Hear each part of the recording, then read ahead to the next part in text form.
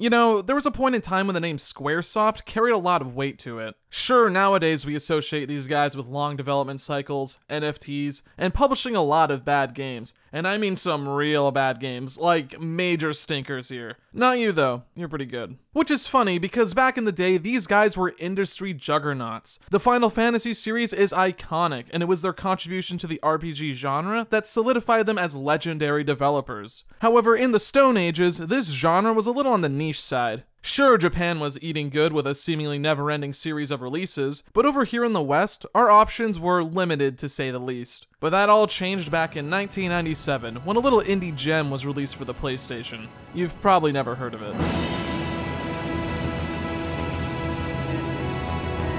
Oh, would you look at that? It seems as though the industry just changed overnight. Playing through this game felt like a blockbuster. The hardware of the PlayStation was pushed to its limits, but back then, you weren't finding anything else on this level. Final Fantasy VII's success isn't something to be understated. It got plenty of people back in the day to try out a genre that they otherwise would have ignored, and skyrocket JRPGs into the mainstream. But the most insane part about all of this is that Square was able to keep up with the demand. Only a year after FF7, we got Final Fantasy VIII, and only a year after that, we got 9, and that's not even counting some of the spin-off games. Sure, we can debate the quality of these games all we want, but we just have to acknowledge how impressive this all was. Square became well known for these box office smash hits, and they garnered themselves a reputation for pushing technology to its limits, while also offering good games to boot, for the most part. Simply put, we were eating good. And with the release of the hotly anticipated PlayStation 2 on the horizon, fans were salivating to see what the next generation of Final Fantasy had in store for us. And in 2001, we finally got to see the fruits of their labor.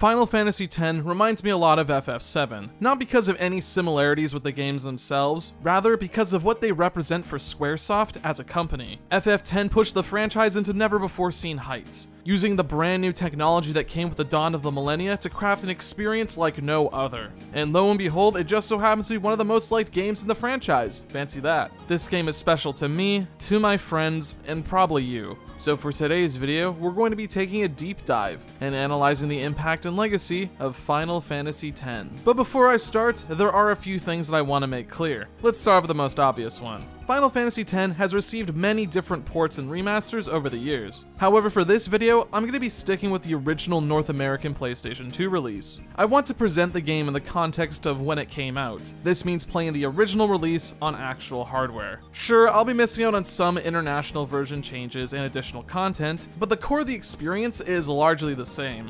Plus, I'm just not a big fan of the HD remaster in general because of how messy of a job it was, so for my own sake, I'll just be sticking with my PS2 copy. I'll be sure to highlight the differences in the international version as they become relevant to make up for that. The last thing that I want to mention is that this video is going to be full of spoilers. I want to give this game the full deep dive treatment, so as a result, I'm going to have to go into some specifics. FF10 is over 20 years old at this point and is widely available, so if you're at all interested in playing it, you have your options. With all that said and done, listen to my story.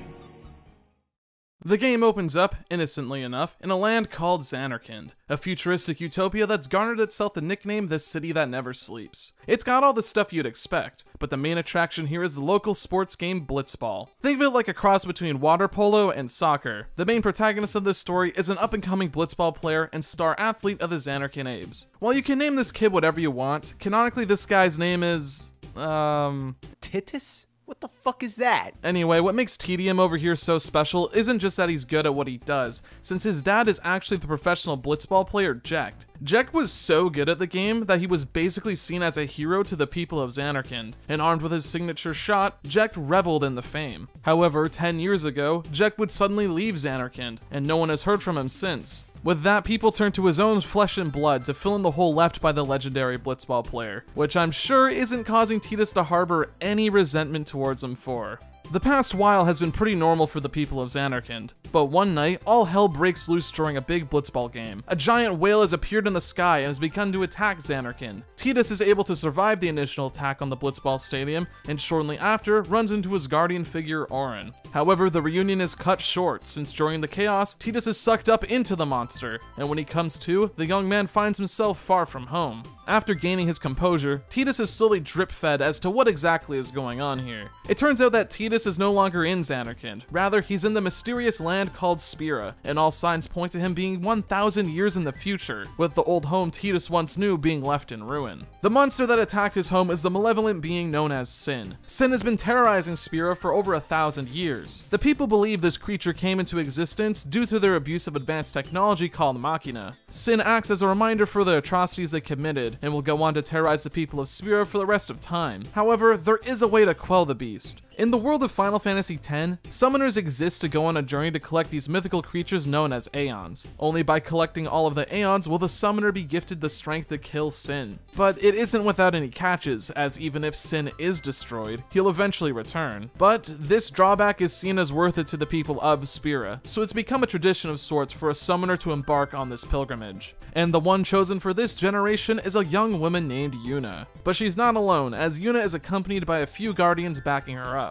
There's the blitzball player and devout Yevonite Wakka, the cold and distant black mage Lulu, and the Ronso of few words Kimahri. With no other options, Tidus tags along with Yuna and her guardians to hopefully find a way back home, but little does he know the hardships that they're all going to face.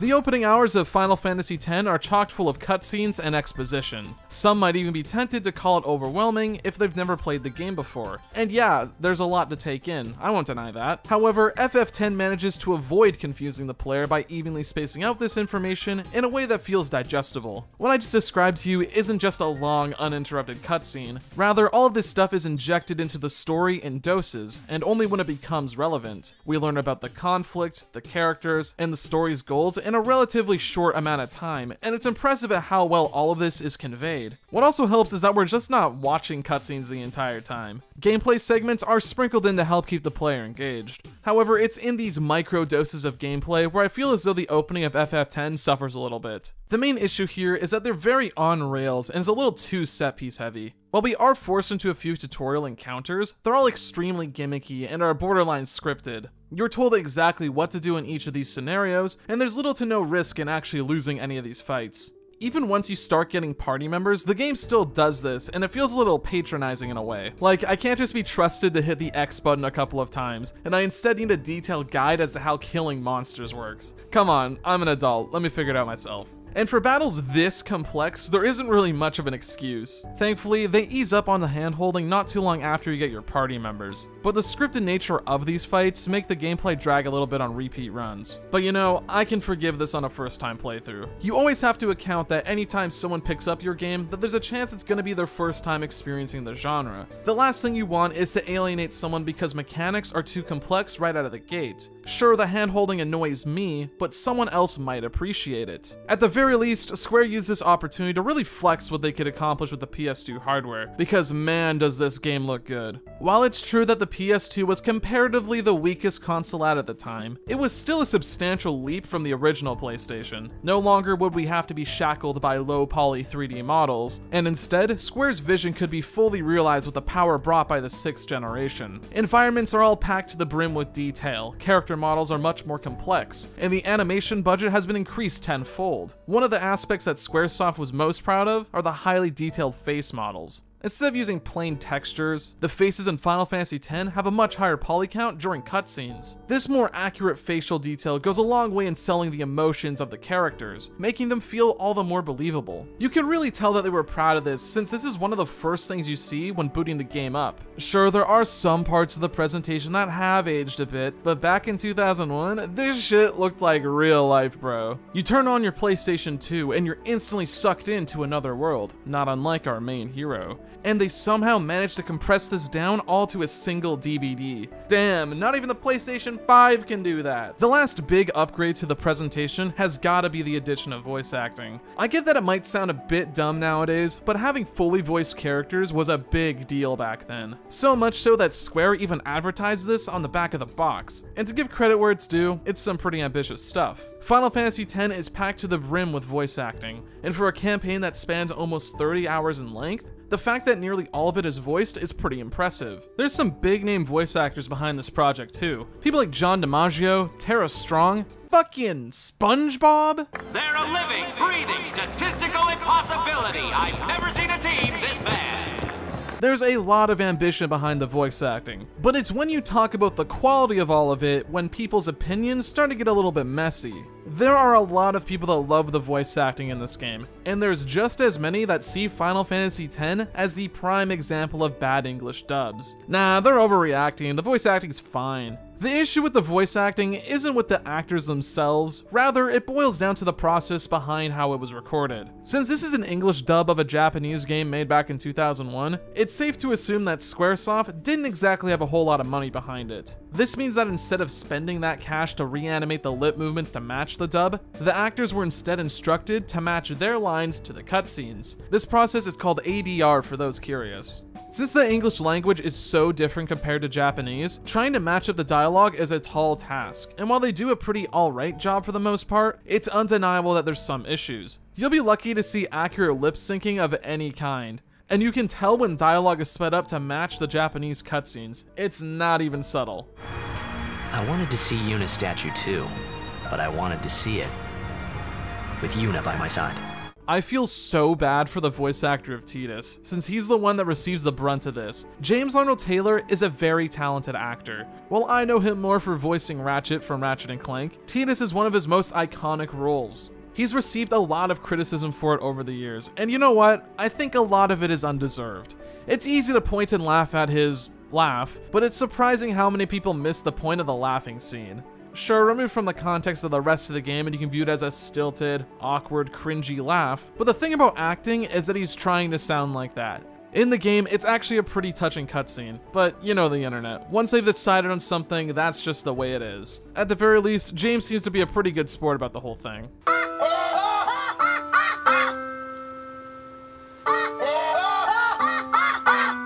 So yeah, Final Fantasy X was a pretty big leap in presentation. That's something I can use my eyes to see. But what about the gameplay? Surely that has remained unchanged from prior entries. Oh brother, believe you me, when I say that Squaresoft took full advantage of the PS2 hardware, I wasn't talking about the visuals. The gameplay of Final Fantasy X can be divided up into a few distinct facets. There's the combat, exploration, and the side activities. I want to focus on the battles first, since this portion of the game is the one that received the biggest glow up. Ever since Final Fantasy IV, the mainline FF games have been using the active time battle system. ATB has become basically synonymous with Square's RPGs at this point, and since it was introduced, every mainline game in the series has been using it. Sure, all of them have been putting their own spin on the ideas, but for six games in a row, the foundation of Final Fantasy's combat has remained the same. So here's the thing, between you and me, I'm not exactly the biggest fan of the ATB system. I mean, it gets the job done, but it lacks a lot of what I'd call a meaningful hook beyond some simple time management mechanics. You see people all the time talk about how they don't like turn-based games because of how much waiting around there is. And while it's easy to disregard what they say, I can't help but feel as though that criticism is founded in some regard. ATB is the poster child of this issue, since beyond having to wait for the meter to fill up, there isn't much that sets the system apart from standard turn-based combat. Sure, there are some interesting ideas present, like haste and slow magic, and some games even have attack charge periods, but for the most part, ATB feels tertiary. It's probably why the distinguishing factors of these old FF games were elements of customization and one or two battle mechanics. Regardless of my personal feelings towards the system, ATB was the winning formula back in the day, so why fix what isn't broken? But I'm sure after about 10 years of getting the same thing, people were starting to get a little tired of it. Plus, we're on the PlayStation 2 now. Let's try to flex our stuff and come up with some new ideas for the next generation. And what Square ended up going with was the perfect decision. Combat in Final Fantasy X might look to be your standard affair from the outside looking in. Turn-based combat with a party of three members against a team of enemies. It's familiar stuff, but immediate difference right off the bat is that the ATB system has been completely removed in favor for the turn chart. Once your turn comes around on the chart, time basically freezes and you're allowed to instantly perform any action of your choosing. Turn order is dictated by multiple factors, ranging from your character's agility, whether or not haste or slow has been applied, or most importantly, the type of action used prior. Just because an action can be immediately performed once they're selected, not all actions have the same amount of cooldown on them. For example, attacking an enemy with your weapon has more cooldown than using an item or a special skill like cheer. Depending on that character's agility stat compared to the other participants in battle, that character can end up acting sooner than they otherwise would have before. There are even times when you can get away with using multiple actions in a row with the right setup. This sounds like it'd be a major pain in the ass to plan around, but thankfully there's a full turn order chart always available to the player, even updates in real time to show the future outcomes of a potential attack. This on its own is pretty cool, but what I like a lot about FF10's battle system is that it's a lot more interactive than what people give it credit for. Since every skill comes with different recharge time for your characters, you need to not only plan around what skill to use, but also the proper time to use it. Skills that come with bonus effects tend to be the ones that require the most amount of strategy. Delay attack and delay buster immediately come to mind when I think of this. These skills are inherently very useful since they, as the name applies, delay the action of an upcoming enemy susceptible to it. However, it's not without a few trade-offs. Not only do you need to have the MP to use the skill, but the cooldown you get from using delay attack is double that of a regular attack, and even longer with delay buster. You're essentially sacrificing that character's turn so that your allies have more chances to perform actions, and thanks to the turn chart, you're able to see the potential result prior to committing. Now this is pretty fucking rad. FF10 manages to double down on the strategic elements of combat, while also simultaneously remaining more hands-on than some of the other games. ATB is a pretty rigid system. The only way to make your turns more efficient is by mastering quick menuing and applying haste buffs. Beyond that, it's still a somewhat standard affair. FF10 offers more ways for the player to manipulate the turn order through smart, on-the-fly choices. If you want to heal, you might be better off tossing out an item rather than using magic. Not just because you'll be saving on MP, but because you'll get a chance to act sooner. But healing through items have some drawbacks of their own, due to how scarce some of them are compared to spells. These limitations are something they need to consider from the start of the game all the way up until the end, and that fact alone makes encounters more engaging to me in this game compared to some of the other Final Fantasies I've played. However, this is only a portion of what I like about the game's combat. For the past while now, the Final Fantasy series has been stuck with only using three party members at once, with FF9 being the exception. Final Fantasy X initially looks to be the same case, though as you'll quickly discover, this setup is only a formality. Sure, you only have access to three party members at once, but thanks to the power of the PlayStation 2, you're able to freely change your active party in the middle of a battle with the press of a button. There are little to no limitations with this system, since it doesn't take up that character's action, and you can even swap to a different member if you change your mind. This one seemingly small addition to the gameplay completely opens up the combat system. Since you have access to every single party member at the same time, the amount of strategies you can come up with are near limitless. Constant character switching is not only encouraged, but it's also a requirement if you want to make the most out of your turns. Every character has a distinct role in battle, and all excel in at least one area. If you want to take out flying enemies, then you should use Wakka. Elemental-based enemies are Lulu's specialty. Auron and Kimahri have high strength stats and can pierce through armor, and Tidus can quickly beat down ground-based fiends with high evasion. The random encounters in Final Fantasy X almost act as a stat-based puzzle game. You need to pick the right characters to switch out at the right time if you plan on killing every enemy in a single round. Efficiency is heavily encouraged in Final Fantasy X, and while it might be a little too simple at the start of the game, the enemy formations quickly start to become more complex. You'll start to realize that some characters are effective against multiple kinds of enemies, and once that crosses your mind, the whole world becomes your oyster. While you might be tempted to just stick with a select few characters, FF10 encourages you to get everyone in on the action through the way its experience system works. Only party members that participate in the encounter will be able to earn experience. However, as long as they perform at least one action, it'll count. This means you can have someone run in to do an attack, heal, use an item, guard, or whatever. As long as they did something, they will earn experience. This is what I mean when I say encounters feel like puzzles. Sure, they aren't too bad if you just want to blast through them and be on your way, but if you want everyone to get a piece of the pie, then you need to think about how you approach things. The reason why this is so important is because the boss battles are designed with the full party in mind. Even if a character isn't useful for the entirety of the boss fight, it's a good idea to temporarily sub them in to perform one or two actions. Bring Tidus to use some of his time magic. Wakka can inflict a handful of status ailments. While not every boss is weak to every strategy, the point that I'm making is that there's always something for a character to do, even if you don't realize it. You don't want to get too switch happy either, since party members in your reserve can't be targeted for healing spells or buffs, so you'll have to make sure that you're confident in what you're about to pull off. mid-battle party switching is a complete game changer, and for their first and only crack at the idea, it's shocking at how well they managed to pull it off. It just goes to show that Square back then was more than just a one-trick pony. They weren't afraid to take risks with the way players could interact with their games, and they always went out of their way to try something new. Whether that be for better or for worse is certainly debatable, but you can't deny that there was always attempts to expand these games, with the most notable differences being in the character customization. Now, this is the part that separates the men from the boys. While most Final Fantasy games share the same core foundation, what really separates them from a gameplay sense is the way the character customization is handled. Whether that be through equipment or other special means, the FF games always strive to let players alter the characters in whatever ways they want. And Final Fantasy X is no exception to this. Firstly, we have the literal equipment the characters use. Rather than weapons and armor having stats tied to them, equipment is instead dictated by their built-in abilities. Sure, some of them are your basic stat modifiers, but the overwhelming majority of equipment comes with some pretty interesting passives. You can inflict status ailments with attacks, get some emergency skills, eventually auto skills, equipment that affects your overdrive, and so on. Not too long into the game, you can even start crafting your own abilities to place on weapons, as long as there's a free slot to do so and you have the right items, feel free to go wild. I like the equipment in FF10 since it cuts right to the chase. It removes some of the, quite frankly, unnecessary aspects of equipment and rather focuses entirely on the good stuff.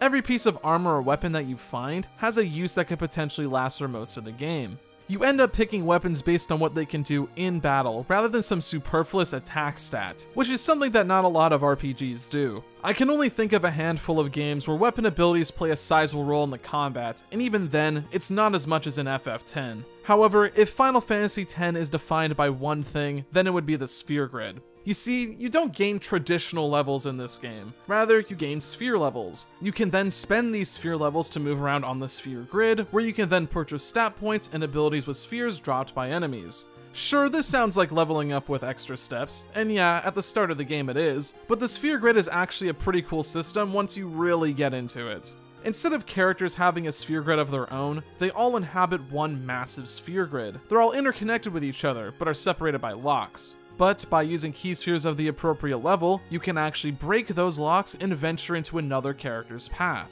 Some super powerful skills are also only available via breaking locks, like Double Cast, Auto Life, and Ultima. This means that, technically speaking, any character can learn any skill. It'll just take longer for some characters depending on their current placement on the grid. But this is where some of the more situational spheres come into play. Spheres that are yellow or white colored can be used to quickly move one character around the sphere grid or remotely activate nodes. The effect you'll get is determined per sphere, and you can't undo the decision, so be sure to read the description before using them. Through careful planning and going out of your way to explore, you'll be able to quickly rack up some pretty unique loadouts for your characters. Give Yuna some offensive spells on top of her white magic, and fully take advantage of her high magic stat. Give a second character Hastega so you don't need to rely on Tidus to buff the team's speed. Sure, it takes a little bit of work to gain access to the ability to mix and match party builds, but the fact that Final Fantasy X still allows the player to do this despite the linear progression is welcomed. A character's utility in combat is completely defined by the sphere grid, but thankfully, even if you don't take full advantage of the system, the game does throw you a bone.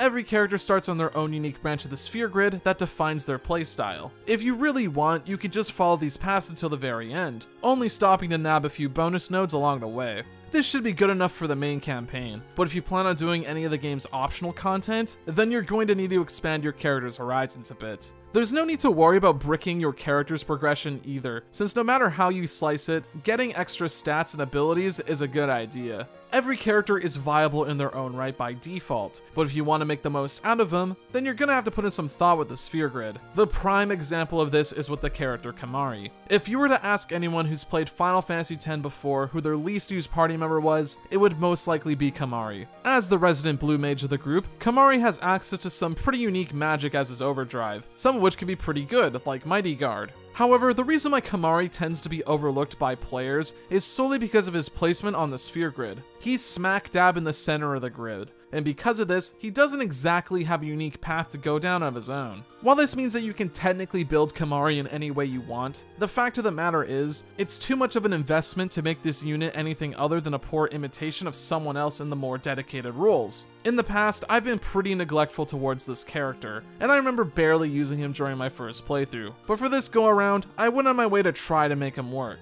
I ended up discovering that Kimahri's primary use as a party member isn't within the combat system, rather, it's how he can be used to unlock a lot of the sphere grid single-handedly. What I ended up doing was sending Kimahri down Rikku's grid before jumping ship to Yuna's. This way I was able to unlock the holy spell much earlier than I otherwise would've. While this made Kimahri an ultimately lopsided character with no real focus, his utility in getting other characters' skills made him a force to be reckoned with. But I can admit that he's still easily the weakest party member in the game since it requires way too much work to make him a viable pick. I can only think of a handful of times when Kimahri was legitimately useful to me, and even then, that was mostly because he had access to steal and use. However, I think that this just further highlights just how versatile the Sphere Grid is. Every player has the potential to end up with completely different character builds by the end of the game. The only limitations are the amount of spheres you have and whether or not you're willing to break everyone's shackles. A player that fully understands the Sphere Grid is a force to be reckoned with, and the flexibility is the reason why it's one of my favorite progression systems in a game. However, this freedom doesn't come without a price.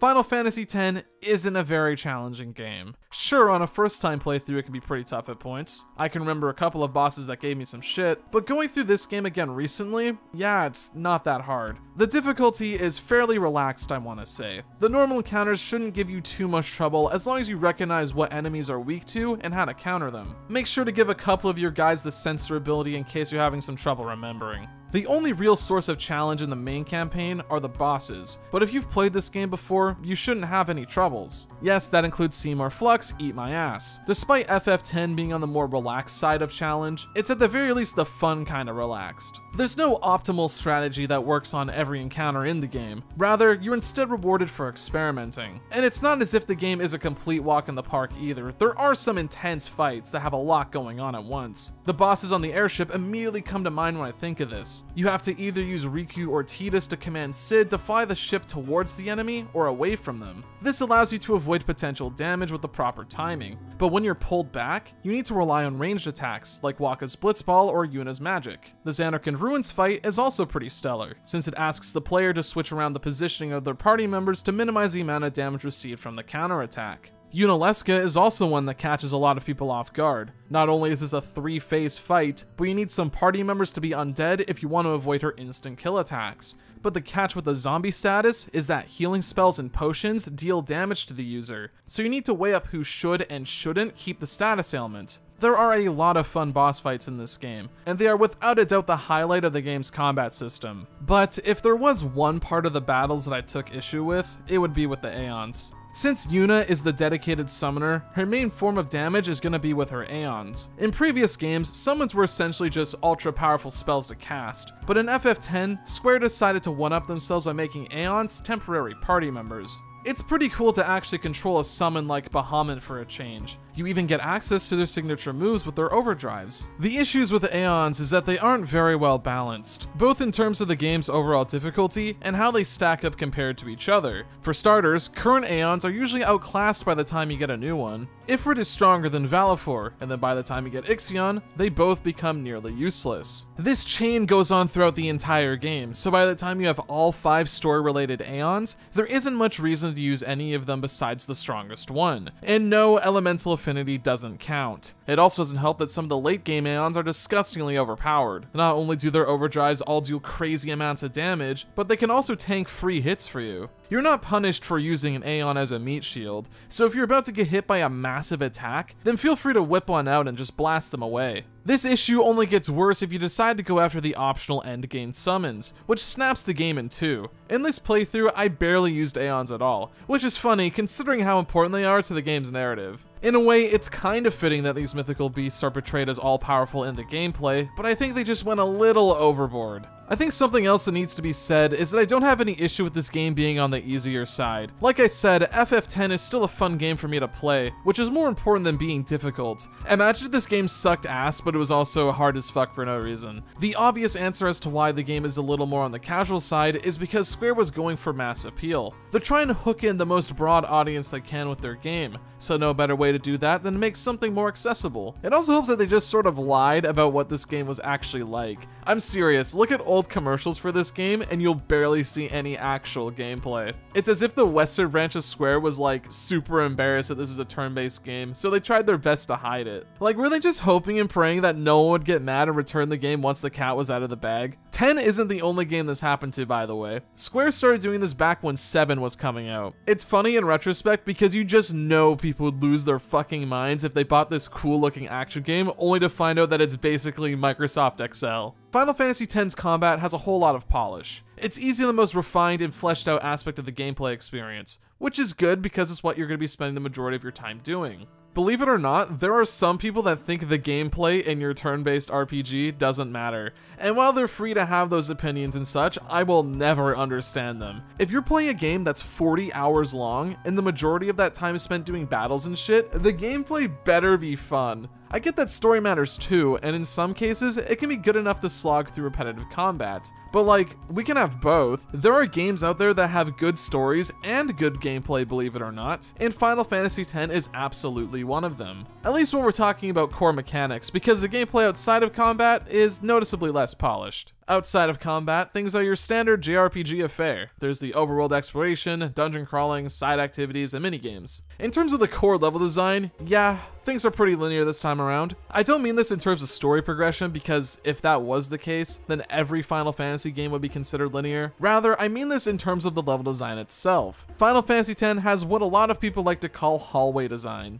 It's level design that, despite its fancy set dressing, is ultimately straightforward. To be blunt, one of the most criticized aspects of this game is just the overall lack of exploration during the main quest, and I get where they're coming from. The average FF10 level design, while offering a little bit of opportunity to branch out from the path, ultimately ends up being straightforward. There are even a couple of times where the areas you travel through are literal straight lines with no branching paths. Maybe there's a chest hidden here or there, but other than that, it's pretty straightforward. But to give 10 some credit, it's not as if you're just going from point A to B with no resistance. There are a couple of set pieces thrown here to spice things up a bit, whether that be because of unique enemy encounters, story sections, or even full-on minigames. But on the whole, yeah, it's pretty linear. I don't necessarily find this to be a bad thing personally, since I'm the kind of person that usually saves all the optional stuff until the end of the game for recording reasons. But I can understand how this could be frustrating to players used to some of the other games. Hell, sometimes it can be a little too much for me.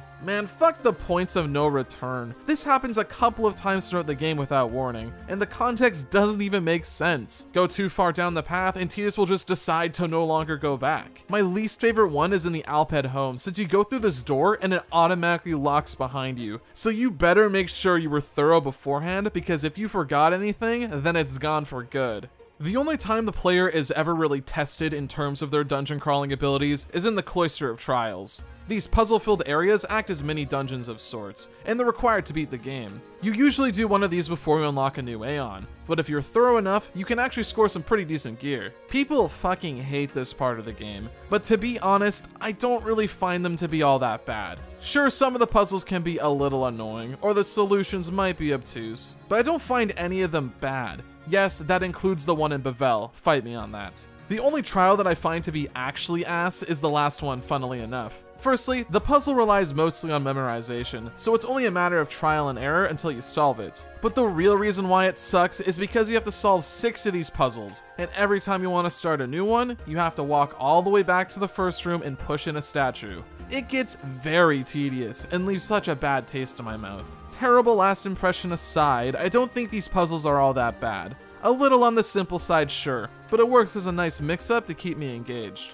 A lot of people like to dog on FF10's level design, and while they're valid in not liking it, I feel as though people ignore the reason why behind it. In the context of the story, the Summoner's Pilgrimage is treated kind of like a road trip. The characters follow this path walked on by many before them. They cross all these unfamiliar sights and are constantly reminded as to what they're fighting for. The characters are literally going from one area to another to collect the Aeons so that they can defeat Sin. It's a tradition that's been followed for thousands of years in Spira, so obviously it's been optimized to a T. My personal crackhead theory behind the linear level design is much more simpler. Back when the PS2 was new, there wasn't this one size fits all engine that every game could run on. No one knew the limits of this brand new technology, so devs didn't quite know what they could get away with just yet. Maybe at the time, Square felt as though they reached the pinnacle as to what the PS2 could output, but that was clearly not the case, since Final Fantasy would only end up getting bigger as it chugged along. Unfortunately, this is something we'll probably never know the real answer to, since developers tend to be very tight-lipped about their projects. But this was just a personal theory I had.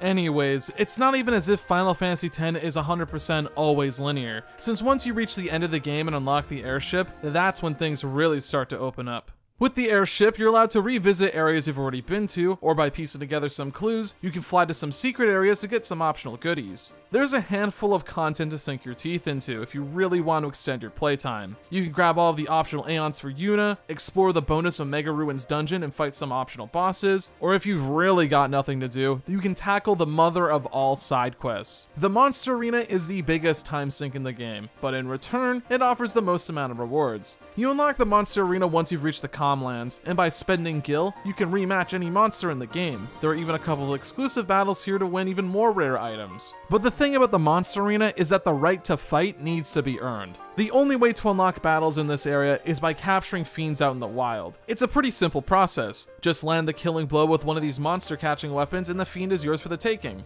But the thing is, you're not going to unlock everything by just capturing one of every fiend. Oh no no no. If you want to unlock all of the optional bosses, you need to capture 10 of every available fiend in Spira. This includes some of the most painfully rare encounters you can find in the game. Oh, sweet Jesus, don't even get me started on how long some of these guys took, and you have to do it 10 fucking times each for every enemy in the game. Do yourself a favor and use a spreadsheet for this crap, because I can guarantee you that you will lose count if you don't. This challenge is only for those willing to stick to the grind, but hey, you at least get some pretty cool rewards for doing so. Not only do you get multiple of some of the most rare items in the game, but you also unlock some of the toughest foes to take down. Manage to take them all down, and you just earned yourself the right to challenge the game's ultimate boss. In the original FF10, Nemesis was the final challenge that stood between yourself and 100% completion. It has the highest stats in the game and shouldn't be attempted without heavy investment in the sphere grid with multiple characters. Statistically speaking, Nemesis is the strongest encounter, but unfortunately, the fight itself is rather dull. Quick hit and haste are basically required, but the issue is that the fight boils down to dealing as much damage as possible, while also setting up contingencies for whenever he one-shots your party. For me, I'd use Rikku to cast Super Mighty Guard since it casts Auto Life on the whole party, then just go to town with Quick Hit. This strategy made me basically unkillable as long as I had the proper items to spare. It's a rather disappointing secret boss if I'm being honest, and isn't worth the effort it takes to unlock him. I'm pretty sure Square agreed with this, since the international version of Final Fantasy X would go on to include a new slew of bosses to take on, alongside some general balance changes. There's the rebalanced Omega weapon fight, the battles against the Dark Aeons, and the brand new ultimate boss Penance. Between you and me, I haven't done any of the international exclusive content before, but it's nice that there's more to look forward to the next time I play the game. Again, all current versions of the game are based off the international release, so you won't have to worry about that stuff. The only thing you do have to worry about is the prep work that goes into it. If you want to fully take on the monster arena and fight the toughest battles, then you need to have the right equipment to do so. This means getting every character's ultimate weapon, and whoo boy. The Celestial weapons in Final Fantasy X are among some of the most infamous ultimate weapons in the entire franchise. Sure, they're crazy useful in combat, you'd be hard pressed to find anyone that disagrees, but the process of obtaining them is on a whole nother level. On top of finding the weapons themselves, you need to collect specific crests and sigils to power them up. A good handful of these are just hidden away in chests, so if you have a keen eye for exploration, you can get them no problem. But there are a good chunk of sigils that require quite the time investment in these, let's be real here, janky ass minigames. This was a major source of frustration for players back in the day, and while I won't say that they're great, I'll at the very least admit that the hate towards them is a little bit overblown. Sure, the Chocobo race was annoying, and the red light green light game against the Cactuars can get tedious, but I'll stand by the fact that these minigames didn't take too long for me to master. I can't imagine someone spending more than an hour on each of them at most, and I do appreciate that there is more thought into getting the best gear beyond doing basic tasks. However, the lightning dodging and the Thunder Plains is where I draw the line. This one can kiss my ass. The minigame itself is pretty simple. Press the X button when the screen flashes white, and congratulations, you've just dodged a lightning bolt. The issue with this minigame isn't that it's challenging, it's just so fucking tedious. To get the sigil used to power up Lulu's celestial weapon, you have to dodge 200 lightning bolts in a row. That's 200 straight dodges, and if you fuck up, then you have to start all over again. God forbid this happens when you're on your way to collect your prize. The worst part about all of this is that the game doesn't keep track of how many lightning bolts you've dodged. That shit has to be done by the player, and if you check the chest too early and are even just a little off, then that attempt just went down the drain. This minigame was by far one of the most stressful things I have ever done in a video game. Do yourself a favor and make sure you have a pen, paper, patience, and an item to disable random encounters. The last thing you want is to lose track and have to start all over again. But if you think any of these are bad, wait until you hear how you get Wakka's ultimate weapon. Which means, yes, it's time to talk about Blitzball.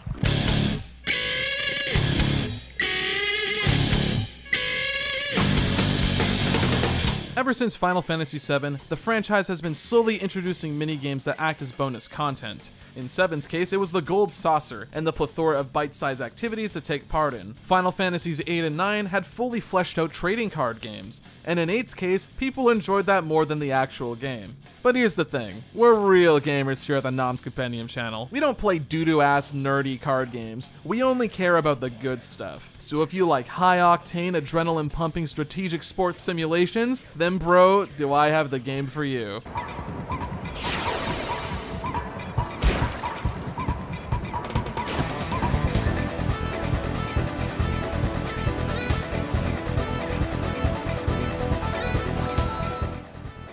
What the hell was that? Okay, so Blitzball is basically turn-based sports. You assemble a team of six players, and the point of the game is to score more points than your opponent. But don't think this is going to be a simple walk in the park, because there are a lot of different factors you need to consider. Because this is still technically a turn-based RPG, the stats of your players factors heavily into your success. The five main stats you need to worry about are passing, shooting, blocking, catching, and endurance. Every player has different stats from each other, and you can choose what position you assign them in depending on what they have going on.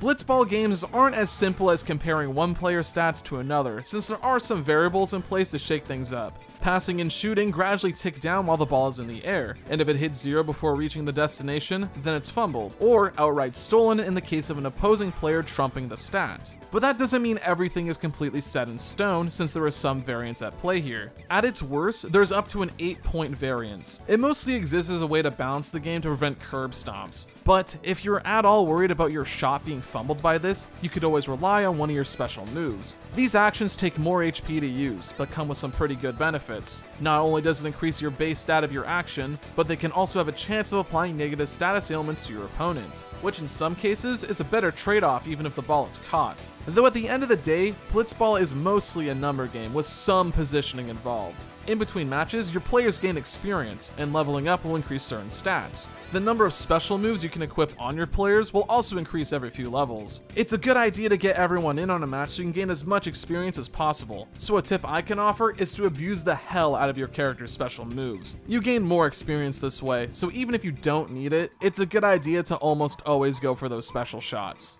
But playing the game is only half of the story, since Blitzball has team management to it. To put it bluntly, the Besaid Aurochs kind of, well, suck. They have some pretty bad stats for most of their lifespan, so you're gimping yourself by investing time in them. Since I'm assuming you want to actually win some games, then you should think about replacing some members. It's a pretty simple management game, all things considered. Players are signed at a fixed rate for however many games you want them to, and there's no fear of someone getting bought out. You also get the chance to rehire players as soon as their term expires. But if you let someone go, it shouldn't take you too long to find a replacement. You'd be surprised to find out how many people in Spira are not only Blitzball players, but experienced enough to compete on a national level. Fucking no wonder why the Aurochs lost for 10 years straight. When some random guy in the street is better at catching a ball than Keepa, then you know you fucked up. Man, maybe Wakka had the right idea. That's all you really need to know about Blitzball if I'm being honest. For such a seemingly simple and harmless minigame, you'd be surprised to see how much hatred there is towards it. Both back in the day and even now. If you were to ask someone what they thought about Blitzball, then you'd probably get a negative response, and I was definitely in the camp of not liking it that much.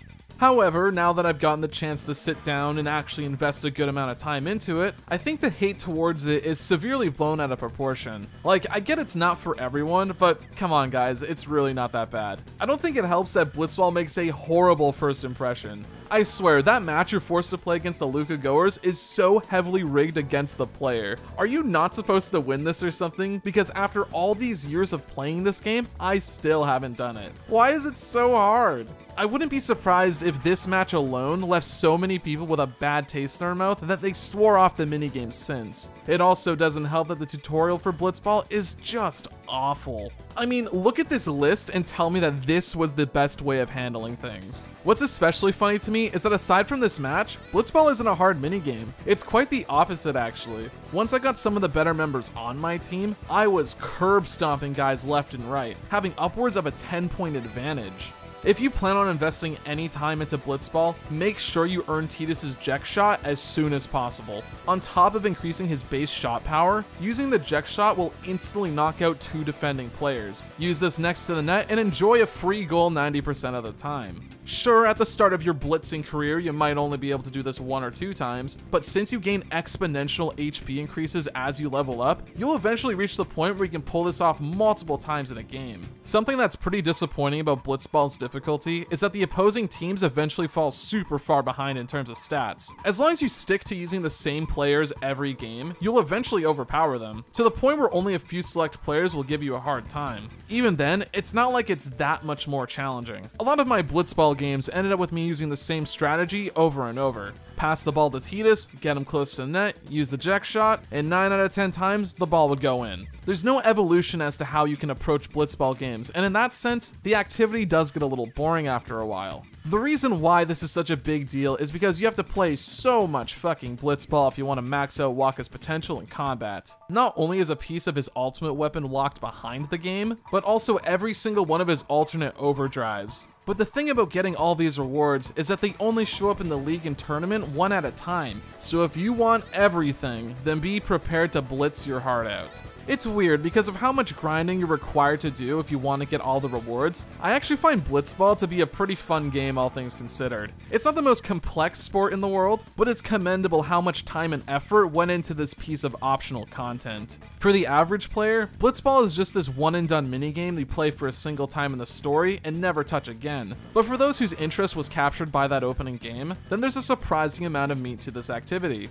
Honestly, if this game received a little more polished difficulty and content wise, I can see Blitzball being released as a standalone mobile game or something. Yeah, imagine a world where you can include any major character from the series on your Blitzball team. You laugh now, but wait until you see the sick shit Sephiroth would pull off. Final Fantasy X has some pretty stellar features on offer. While not all of the content is polished, I believe that it nails the landing where it counts.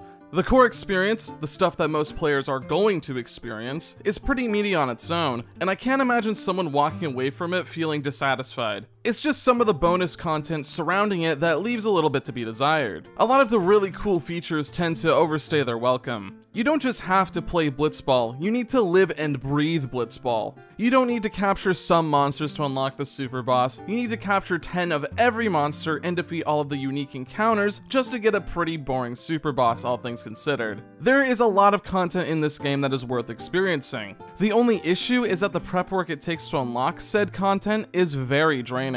This is probably the reason why the HD version of the game includes a speed up feature. I was ready to fight the final boss about 35 hours in, but over doubled that time doing a bunch of other stuff. I can at the very least say that this content is worth doing at least once in your life, but it's not really a grind that I would want to do again anytime soon. At the very least, a lot of this content is tied to one of the best turn-based combat systems you can find. It manages to elevate a lot of the busy work into content that's worth doing, so good on them. FF10 has some very solid gameplay at the end of the day, and it's worth experiencing for that alone. But nah, not many people play RPGs for the gameplay I'm aware. If you're playing a 40 hour game, then you better have a good narrative backing it up, and thankfully, Final Fantasy X more than delivers on that front.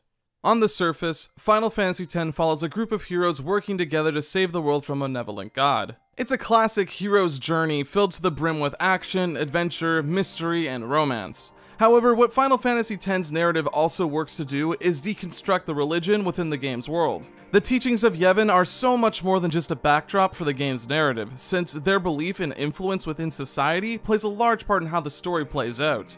Sin is a symbol of death for Spira. Wherever it goes, death is sure to follow. While the people of Spira try their hardest to take Sin down, ultimately, it's all in vain. Sin is eternal, so no matter how many summoners Spira throws at the monster, it will always come back. The people of Spira, more specifically, the followers of Yevon, believe that Sin's return is only brought on because the people of the world have yet to repent for their past mistakes. While the calm window brought by the summoner's sacrifice is brief, the needs of the many outweigh the needs of the few. So yeah, the situation with Sin is kind of fucked, but wait until you hear what our beloved figureheads are up to. The teachings of Yevon mean a lot to the people of Spira. Beyond just being the main religion people follow, the Maesters of Yevon also have a lot of political influence. A surprising amount in all honesty. It would be like if the church was in charge of our laws or something. What this results in is a society with a fairly limited worldview. The citizens of Spira are so desperate for any kind of hope against Sin's wrath that they're willing to blindly follow whatever their leaders tell them to, regardless of what it might be. One of the core beliefs of Yevon is that we as a society need to swear off the use of Machina. It's believed that Sin's arrival is tied to the abuse of this advanced technology, and according to the teachings, the only way to permanently rid the world of Sin is for the people of Spira to atone for their past actions. What this means is that the people of Spira live much more humble lives than the ones Tidus is used to seeing in Zanarkand. The religion in FF10 isn't as black and white as you might initially think it is. The church's evil is a classic trope in fiction, and yeah, FF10 does lean heavily into that idea. I mean, it wouldn't be the first or last time the Final Fantasy series was on the side of anti-authority, but FF10 manages to capture a much larger spectrum than the previous games in the series. Religion in Spira is less black and white, and more so a gradient. The overwhelming majority of people are disciples of Yevon, however, the way they uphold their religion differs between individuals. We see a wide variety of takes on Yevon's teachings all throughout Spira, and while they all uphold the same general ideas, the little differences in how it's presented goes a long way in making this feel like a living, breathing world. However, at the end of the day, FF10 is still a game about critiquing the status quo. While the positive aspects of Yevon's teachings are there, it's pretty obvious that this group is being ran by some pretty corrupt individuals. This is something that the game doesn't even try to hide. On top of the less than trustworthy figureheads, Yevon's teachings promote some heinous things like human sacrifice, rejection of progress, and even discrimination. No better is this demonstrated than with the Al Bhed. The Al Bhed go against everything that Yevon represents. The teachings of Yevons are very traditional. They believe in long established rules and ideas that everyone needs to uphold. However, the Al Bhed are the opposite. They openly use Machina to further advance their society, and in a world where the use of that technology is seen as forbidden, it doesn't exactly sit all too well with the majority. What this results in is the Al Bhed being discriminated against by devout Yevon followers. The Al Bhed are actively shunned and villainized throughout the story, and there's no better demonstration of this than with, surprisingly enough, our main party. The character Wakka is the prime example of a Yevon meat rider. He's dedicated his entire life to strictly following their teachings and traditions. However, he makes his disdain towards those he perceives against Yevon very clear.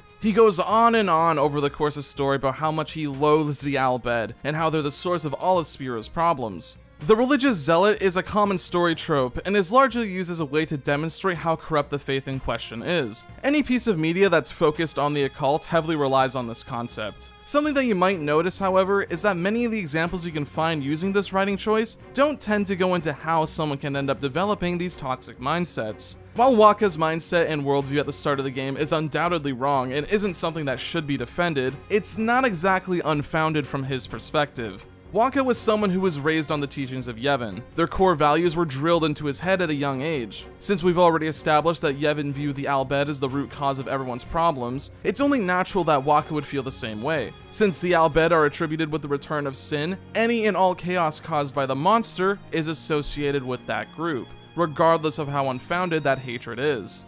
An aspect of Wakka's character that's usually glanced over is how he struggles to cope with the loss of his younger brother, Chapu. Chapu was Wakka's only family after their parents died, and since they had no one else, Wakka had to step up to the plate and act as the father figure of sorts for his brother. They had a very tight bond, and were even competing in blitzball tournaments with each other. However, these good times didn't last forever. Sometime before the start of the game, Chapu would volunteer to join Spira's army and was tragically killed by Sin. The loss deeply affected both Lulu and Wakka, but between the two, it's safe to say that Wakka took the news much harder. Wakka struggles with these feelings of loss and has no idea how to properly move on from what happened. Our first glimpse of this is in his relationship with Tidus. Wakka takes a liking to our fish out of water and is quick to take him under his wing. While it initially seems as though he's doing it out of the kindness of his heart, it's eventually revealed that it's because Wakka is using Tidus to fill the hole left behind by Chapu. Once this is established in the narrative, the realization sets in. Wakka has abandonment issues and is trapped in the grieving period for his late brother. Since Sin's wrath is linked to the beliefs of the Al Bhed, it doesn't take much effort to put two and two together. Wakka's grief, combined with Yevon's traditionalism, is the source of this bias against the Al Bhed. While Sin is the cause of Chapu's death, to Wakka, the Al Bhed play an equal part. When taking all of that into account, there's a certain level of empathy to be found within Wakka's character during this period. But the game is more than happy to remind you that, grieving or otherwise, there is no excuse for discrimination. Wakka's character growth is done extremely well, since he's the party member that struggles the most with accepting the fact that Yevon's teachings are corrupt. He's someone who's had their entire worldview turned upside down, and once he realizes that yes, he is in the wrong, he tries his best to make amends. Wakka's purpose in the narrative of Final Fantasy X is to show the absolute extreme of what Yevon's followers are capable of doing, and by giving him such a large role in the story and constantly reminding us of his stance, it plants the idea in our minds that maybe, just maybe, there's something terribly wrong with our religion. I believe the reason why FF10 puts a large emphasis on this part of the world is for the sake of broad appeal. Religion is a universal concept that everyone in our real world can understand, regardless of whether or not you practice religion yourself. It's hard to deny that it isn't so heavily intertwined in everyone's culture. Putting it at the front and center of Spira gives us, as outsiders, something immediately familiar to grasp onto. Spira is a mythical land filled with all sorts of creatures and concepts that we couldn't dream of having in our real world. But those small splashes of the contemporary helps ground FF10's world. Either that or the hours of Blitzball are finally getting to me. While the religious side of Spira plays a massive part in Final Fantasy X, at the end of the day, it mostly serves as a backdrop for the characters. Of course, I already mentioned Wakka, but the rest of the party is occupied by some pretty diverse characters. Most of them come from all different walks of Spira. However, not all of them play a massive part in the game's narrative. Don't get me wrong, they are fleshed out and well-defined characters, most of them even get a moment in the spotlight, but it's clear that the writers had their favorites. Something that a lot of people don't understand is that character development is not limited to characters changing over the course of the story. There are many other ways to develop characters, but the modern media discussion mindset has been pretty narrow-minded. Everything has to follow one set of rules and there is no room for other methods of storytelling. Yeah, okay. Every major character in Final Fantasy X is developed, but not every character has an arc. Lulu starts and ends in roughly the same state. The only difference is that she's able to open up more to her comrades and has full knowledge of the corruption behind Yevon. While you could argue that this makes her lesser than some of the other characters, ultimately it doesn't benefit the conversation behind FF10's narrative. Lulu has a purpose in the story and she serves that purpose well. The same is true for Rikku and Kimahri as well. There is nothing wrong with wanting more out of a certain character, but calling them underdeveloped because of it is a little silly. I think my favorite supporting character in the game is Auron. He's the badass mentor figure of the group, the man of little words whose past is shrouded in mystery. Damn. Sure, that sounds pretty typical for an RPG, but Auron ends up being one of the more compelling characters to me. His character is primarily meant to assist Tidus' development, as he has an extensive relationship with Jecht. However, we eventually learn that Auron is a man filled with many regrets. He's on a journey of atonement, and is the spark that gets everyone in the group to start really questioning the practices of Yevon and the true meaning of the pilgrimage. In a sense, the party's main purpose isn't so much to go on their own journeys, rather, they work to flesh out certain aspects of Spira and its culture. We have a follower of Yevon, a scavenger with Al Bhed heritage, a Ronso warrior from the mountains, and so on. Even Seymour, who is extensively the main antagonist of the game, is meant to represent corruption in the government. He pulls the strings behind the scenes and orchestrates events in a way to further tighten Yevon's grip on society. One of the most standout moments is when he allows the Crusaders to use Machina against Sin, knowing full well that it'll be ineffective.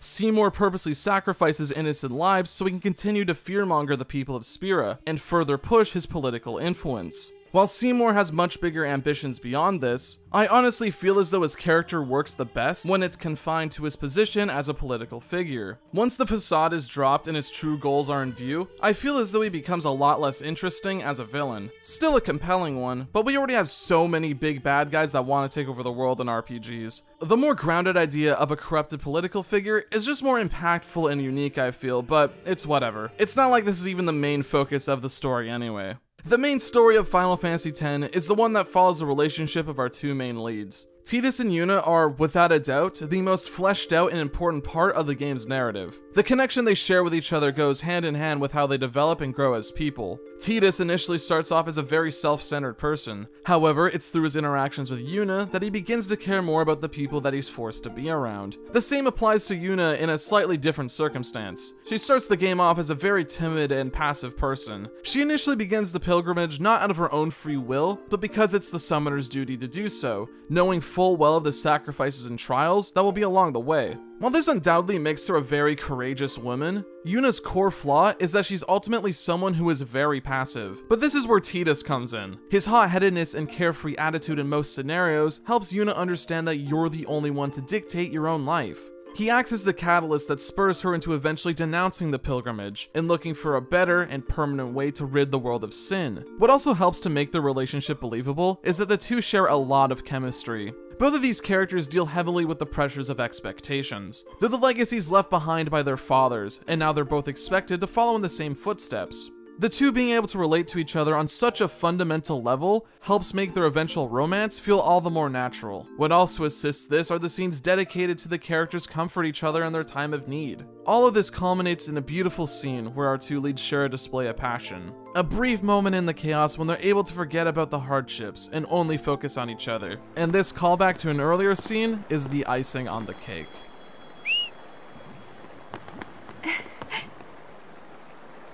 Final Fantasy X is a pretty loaded game from a story standpoint. There's a lot to dissect from a literal plot standpoint, and also in terms of the meta narrative. For example, the theme of loss is common throughout the game. Every character has lost someone or something important to them, and their journey through Spira allows them to confront those emotions and eventually overcome them, both figuratively and literally. However, if there's one character that I think needs to be highlighted more than anything, then that would be our main character. Tidus is one of the most polarizing characters I've seen in an RPG. People fucking hate this kid, and I have no idea why. So I'm gonna step up to bat and defend Tidus, because he's a lot more layered and interesting than people give him credit for. Tidus is a fish out of water protagonist, and because of this, he serves two purposes. The first one is to naturally introduce concepts about the world of Spira to the player. Secondly, by being a fish out of water, he's able to make an active change in the world since he's able to bring an outsider's perspective to everything. A common complaint I see about Tidus is that he can be pretty whiny, and while it's true, I've never understood why this is a bad thing. Something that people tend to forget is that this character is around 17 years old, and it's clearly demonstrated that he's not the most emotionally mature person out there. He's kind of an asshole, is super self-centered, and takes people's help for granted. I don't really blame him for being like this either, because I sure shit wasn't the most emotionally developed person either at that age. So when Tidus is ripped away from the life he knew, and suddenly finds himself in a foreign land, I can understand why he's as brash as he is. I think his attitude towards the situation and his emotional response to it all is totally reasonable, and it's not as if he stays like this for the whole game. Tidus' character growth comes from him developing his relationships, not just the one that he shares with Yuna, but also the one he has with his abusive father. I mentioned him briefly at the start of the video, but Tidus' father is the world-renowned Blitzball star Jecht. Jecht was the king of Zanarkand. He had the talents, the looks, the courage, and was all in all seen as a hero to those around him. However, the dark truth about Jecht is that he was a crippling alcoholic. Once you're at the top, there's no reason to try anymore after all. Jecht used liquor as an escape from the pain of monotony. However, this self-destructive coping mechanism has a price. Not only did his career take a massive hit, heavily damaging his ego, but his pent-up rage manifested in verbal abuse towards his son. Jecht was already someone who struggled to communicate with Tidus. He'd constantly berate him, telling Tidus that he would never be good enough to live up to his impossibly high standards. While Jecht saw this as an act of tough love, regardless of his intentions of trying to toughen up the kid, this was abuse. Jecht was a horrible father to Tidus, to the point where he began to have reoccurring nightmares of the torment he went through. This, coupled with being neglected by his own mother, led Tidus to rightfully resent his dad. However, even after Jecht's supposed death, the nightmare continued as we learn early on that Sin and Jecht are one and the same. While the game goes into the specifics of how this works later on, this fact is revealed to us not too long into the journey. I believe the purpose of this was to not only give Tidus a personal stake within the narrative, but to also further lay into the idea that the main conflict of his character is Tidus learning to confront and overcome his abusive father. A running theme of Final Fantasy X is the idea of family expectations. This is actually established at the very start of the story. The people of Zanarkand looked up to Jecht and saw him as a hero, and in his absence, Tidus was the one left responsible to fill in the void left behind. As you can imagine, these expectations come with a lot of pressure. Tidus works tirelessly to not just live up to the legacy that Jecht left behind, but to prove himself to be better than his father. Tidus hates Jecht more than anything. He's the main source of his self-doubts, and that childhood trauma has stuck with him for all of this time. All this begins to surface when it's revealed that Jecht is the current incarnation of Sin. This fact completely shatters Tidus. To the people of Spira, Sin serves as a reminder to all their past misfortunes. However, to Tidus, Sin represents his own trauma. By overcoming Sin, Tidus can overcome the hardships he faced in the past. I'll be honest, I find Tidus to be a very relatable character. I've had a pretty rough relationship with my own dad in the past. Obviously not to the extent that Tidus did with Jecht, but I know what it's like to have expectations placed on you because of who you're related to. I'm about to get a little real here for a second, so bear with me. Growing up, I felt this overwhelming pressure to be just like my own dad. I was expected to follow the same career path as him, even though I made it clear that I had my own ambitions. I didn't want to be what someone else wanted me to be. I wanted to do something that I was passionate about, but the tension didn't go away. Making YouTube videos isn't really seen as the most respectable career choice, and I sort of get that to an extent. With the amount of problems this platform has, who wouldn't be worried about it all suddenly going up in flames overnight? But the issues that I was facing, and still do to some degree, is that I felt as though I wasn't being taken seriously by my family like all that I've done was just a phase, and that at some point I'd wake up and realize that I'm just wasting my time, and that I should get a real job like my dad. To be honest, that hurt. It still hurts sometimes.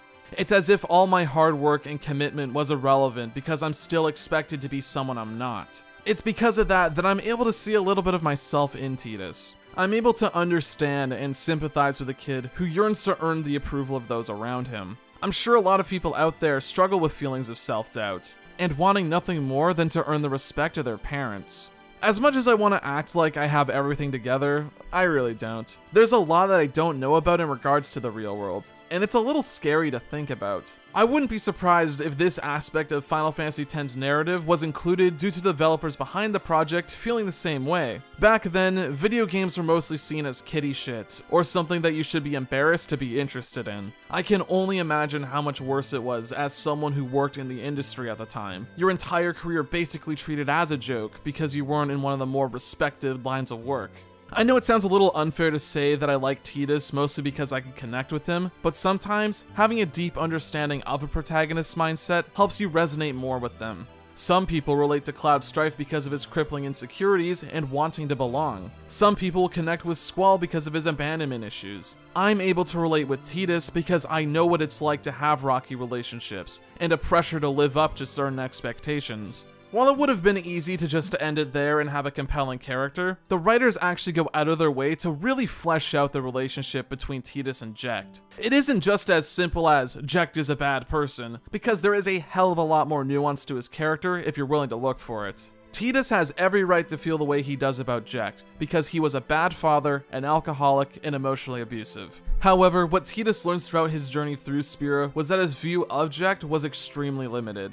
Tidus only knew his dad at his lowest point, but what he didn't know was the journey of self-discovery Jecht went on after arriving in Spira himself. Scattered all over the world are spheres left by Jecht, chronicling his time there. It turns out that Jecht partook in a summoner journey of his own. He acted as the guardian to Yuna's father Braska, alongside Auron. Jecht being removed from the fame that defined him, and being isolated from his family, gave him the opportunity to reflect on what had become. Jecht is able to recognize that he was a terrible father to Tidus, and while he was unsure if he was ever going to see his son again, he begins a journey of self-improvement. Jecht gives up drinking and adopts a more selfless attitude. By the time the pilgrimage comes to an end and a guardian needs to be sacrificed to create the final Aeon, Jecht has no issue with forfeiting his own life for the cause. While this would inadvertently lead him into being the new vessel for Yu Yevon, Jecht's self-sacrifice here just shows how much his time in Spira changed him. His only regret was not being able to see his son for one last goodbye. Most of this information is tucked away in optional content that's left up for the player to discover on their own. If you were to ask me, this stuff is mandatory viewing if you want to get the most out of Jecht's character.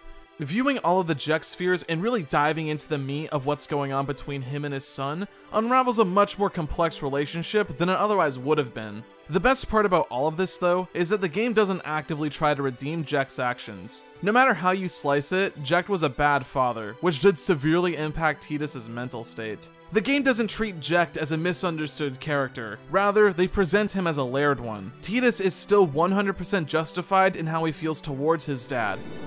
Dad? You. I hate you. This entire scene between Tidus and Jecht is one of the best written interactions in the entire game. The amount of nuance in this scene is outstanding. You've really grown. Yeah. But you're still bigger. There is just so much to impact in these words alone. Sure, this can be taken literally, with how Tidus is much older than he was when Jecht last saw him, but there's a secondary meaning of Tidus' character growth. He's become much more brave and selfless than he was as a kid. However, Tidus' response enforces the idea that to himself, he still hasn't lived up to his father's standards. The years of pent up aggression and trauma finally boil over once Tidus comes face to face with Jecht. While Tidus understands his father more, he still can't forgive him for everything that happened. However, when push comes to shove, ultimately, there's still a part of Tidus that loves his father. The way he desperately reaches out to him one last time before they battle, and how he's in tears once Jecht is defeated says it all, really.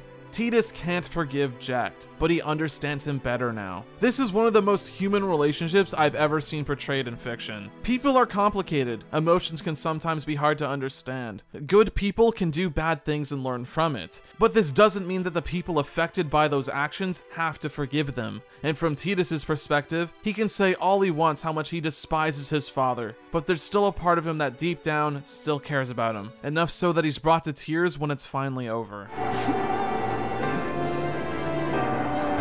I hate you, Dad. The dynamic between Tidus and Jecht is one that I think about a lot. Whenever I do some reflection on my feelings towards this game, this aspect of the story always creeps its way into my mind, and I somehow find more ways to appreciate it than I did before. It took me a while to realize this, but Tidus and Jecht go on basically the same journey and grow in similar ways. As much as he'd deny it, Tidus is a lot like his dad. Both of them are star athletes that were whisked away into a mysterious world. They go on a journey with a summoner, on a quest to rid the world of sin. Through this journey, they learn more about themselves and are given time to reflect on the relationships they have with the ones closest to them. In Tidus' case, while he didn't have much explicitly wrong with him as a person, he does grow. I already mentioned he confronts and overcomes his feelings of abuse, but a large chunk of this story is dedicated to having Tidus mature as a person. He goes from a self-centered and whiny teenager to a respectable young adult with a support group that he's willing to do anything for. All of this culminates in him eventually making the ultimate sacrifice. To make a long story short, the one responsible for Sin's return is a powerful summon named Yu Yevon. It turns out that the Zanarkand Tidus and Jecht are from is a dream conjured by the Fayth. The real Zanarkand lies in ruins because of a war that broke out a thousand years ago. Yu Yevon wanted to preserve the dream of his utopia. So he gathered the survivors from the war and had them dream an exact copy of Zanarkand. This includes replicating the people. However, this alone wasn't good enough for Yu Yevon. He wanted to get revenge for what happened, and in an act of retaliation, he created Sin. But as the years went on and Yu Yevon lost all consciousness, Sin eventually became a malevolent being that exists for the sole purpose of protecting Dream's Zanarkand. The only way to permanently rid the world of Sin is to destroy Yu Yevon, but this will come at the cost of Dream's Zanarkand and all of its inhabitants to cease existing. This includes Tidus. There's actually some pretty clever foreshadowing done for those with very keen eyes. You know how you can name Tidus whatever you want? Sounds like some typical RPG stuff. However, you're also given the opportunity to name any of the Aeons you unlock. Since Dream Zanarkand is basically just a massive Aeon, being able to name Tidus hints at him not being real as well. It's not super important, I'm aware, but I just thought it was pretty neat. The final act of the game acts as the ultimate demonstration of Tidus' growth as a character. His journey through Spira greatly expanded his horizons, and gave him the chance to finally grow up. Back in Zanarkand, Tidus was living without a purpose of his own. He existed solely to fill in the void left behind by his father. But by going to Spira and meeting all of these new faces, Tidus was finally able to find his own reason for living. He found the place where he truly belonged and was able to find real happiness. It's because of those experiences that Tidus is able to find the courage to face his darkness and take his life back into his own hands. The defeat of Yu Yevon symbolizes the completion of his transformation, even though it came with the greatest cost. Way to go, kid. You finally made your old man proud.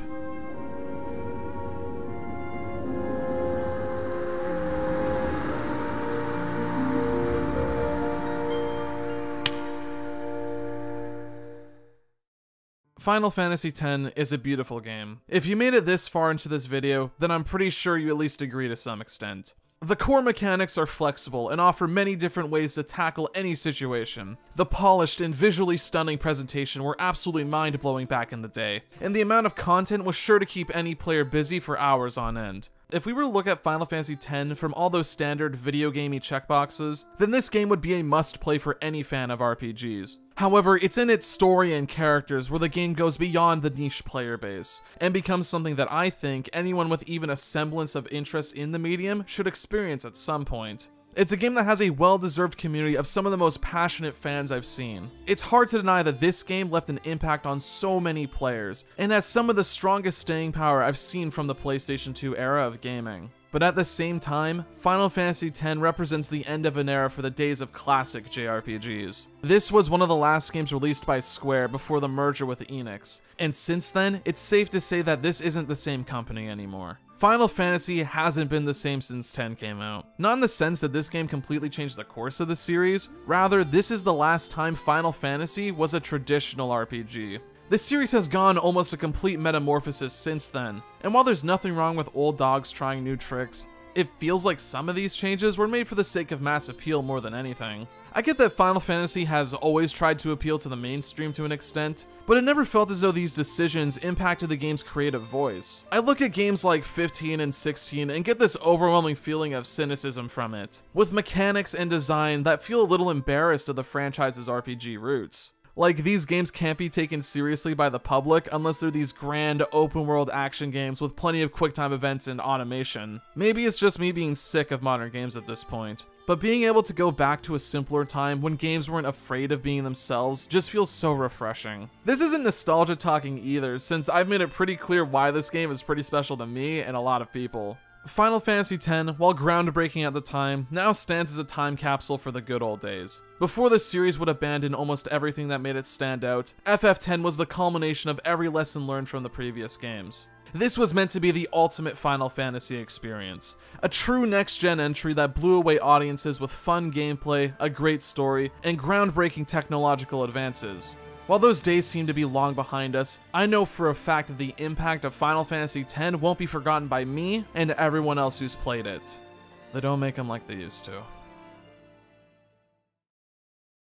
Hey everyone, thanks for watching. I'd like to give a special shout out to all of my channel supporters whose names are on screen now. It's because of these generous people that videos like this are possible. I really mean it. For this video, I needed to purchase a brand new capture card because my old one didn't support interlaced video. Without it, I would have had to rely on the HD remaster of FF10 for this video, which would have gone against the idea of looking at this game in the context of when it came out. However, it's because of my channel supporters that I was able to afford this expense and make this video the way I wanted to. I can't thank everyone enough for the support, and I'll be sure to make good use of this equipment in the future. If you're at all interested in supporting the channel, there are a few perks I can offer in return, but the main thing you'll be doing is providing me with financial security and freedom. With the way YouTube is now, I'm a little worried with experimenting with my content. This is my job after all, so I need to make sure I make a certain amount of money per month if I want to keep doing this full time. What this means is that I'm currently forced to keep my topics to a very limited range to guarantee a certain amount of views per upload. There's a lot of games that I want to talk about. However, it would be a big risk doing that, since if I dedicate too much time to those projects, I might not make enough in return for it to be viable. Sponsors do help, and while I have gotten a few in the past, it's not something that I can rely on always getting, you know? This is why stuff like Patreon and channel memberships are so important to this channel. There's a lot that I want to say about certain games, but I know that some of these topics have too limited of an appeal to make a return. However, if I had a few more people supporting me monthly through channel memberships and Patreon, I would be able to branch out into those topics without fearing too much as to how it would impact my channel and YouTube's algorithm. So if you want to support long form content like this, then please consider checking out my Patreon or becoming a channel member. Check out the link in the description or pinned comment to get started if you're interested. In terms of future projects, things are currently up in the air as of right now. Persona 3 Reload is coming out soon, and I'm looking forward to talking about that on the channel. But in terms of the next video, I'm to need some time to think about it. I at least want to take some time off because I'm feeling a little burnt out after all of this Final Fantasy talk. However, if you want to stay up to date with what I end up doing next, feel free to follow my Twitter and join my Discord server. Both will be linked in the description. Once again, I'd like to thank you all so much for watching, and I hope to see you all next time.